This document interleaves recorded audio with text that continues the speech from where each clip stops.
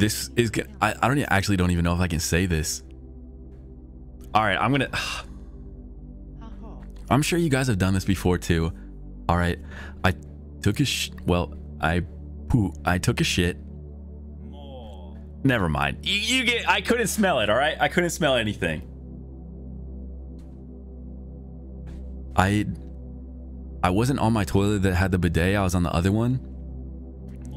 Wipe my butt, and then I wanted to see, like, dude, can I smell anything? And I smelled, and I couldn't smell anything, not even my own fucking shit. And then that's how I also learned that I can't taste anything either. It's horrible, man. It's awful. I wouldn't wish this on, on anyone, man. You taste? It's only the smell.